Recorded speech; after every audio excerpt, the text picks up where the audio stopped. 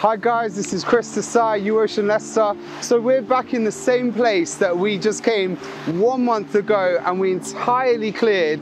As you can see, it's absolutely trashed again. Bottles, plastic bottles, Coca-Cola, and kids' toys. I mean, this is one of the problems that we need to overcome.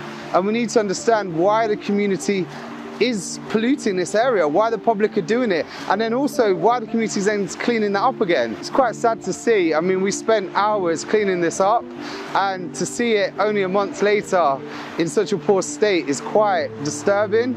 Leicester, we can do better. It's not for other people, it's for everybody. And if you don't do it and everyone gets involved, it'll get worse. And you know, then when you're going along, your, your children will will suffer from, from the after effects, and our children's children, and all generations. Um, it's about it's about doing something now, not when it's too late. Thanks to the UOcean project and all the volunteers and what you do, it's absolutely fantastic and fabulous. Today isn't warm. It's you know we're, we're freezing here, and you're all out uh, helping on a Sunday to clear up and clean up our canal and riverways.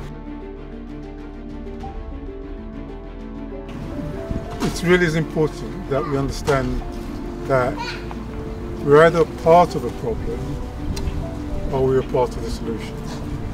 And in my mind, what I see here is a part of the solution. Shouldn't be a showcase. It should be an integral part of the way in which we live our life in protecting the planet for the future. I must be the change I want to see. And it's important that we don't keep that as a secret to ourselves, but that we spread it beyond our own personal conviction.